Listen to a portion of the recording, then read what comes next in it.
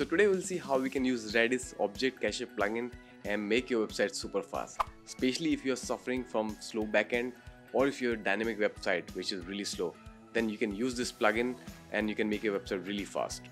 I created another video which explains what is Redis Cache and explain how you can implement it on your website using LiteSpeed Cache plugin or W3 Total Cache plugin.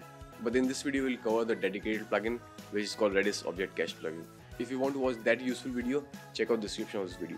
Okay, so let's move in this tutorial and see how we can install Redis Object Cache plugin and what are the common issues comes when you try to use this plugin. So log into WordPress dashboard and then hover on plugins then click add new and then search here Redis.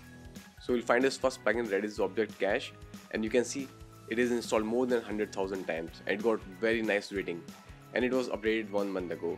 So what you need to do is click on install now and once it is installed click on activate. Okay once this plugin will be installed you will see this option overview metrics and diagnostics. So you can see here the status is drop-in is not installed. And then drop-in says not installed but file system is writable. So what we need to do now is we need to click on enable object cache. And now you can see drop-in says valid but status is not connected.